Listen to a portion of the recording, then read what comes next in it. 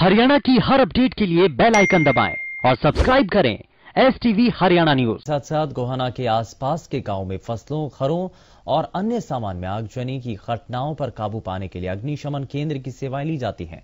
इसके लिए सरकार द्वारा प्रति घंटे के हिसाब से पैसे निर्धारित किए गए, जिसमें लोग आगजनी की घटनाओं के समय केंद्र से सेवाएँ तो लेते हैं, लेकिन फायर चार्ज जमा नहीं करवाते, जिससे चार्ज का बकाया बढ़ता जा रहा है। इससे परेशान होकर अग्निशमन केंद्र के अधिकारियों ने अब फायर शुल्क वसूलने के लिए ग्राम पंचायतों को नोटिस जारी करने का फैसला लिया है। नोटिस जारी होने के बाद जो पंचायतें फायर चार्ज का भुगतान नहीं करेंगी, उनके खिलाफ नियमों के तहत आगामी कार्रवाई की जाएगी। हाँ गाँव की तरफ़ जो दो हज़ार अठारह उन्नीस में लगभग एक लाख बीस हज़ार रुपए का जो फायर चार्ज है, वो अभी बकाया है। आग लग जाती है तो जी, हम कह के आते हैं कि आप आना अपना फायर का चार्ज कटवा लीजिए, आप नहीं करिए। पर काफ़ी लोग हैं जो कटवा लेते हैं, पर काफ़ी लोग ऐसे भी होते हैं जो नहीं कटवाते तो फिर वो ग्राम पंचायत के उसमें चला जाता है।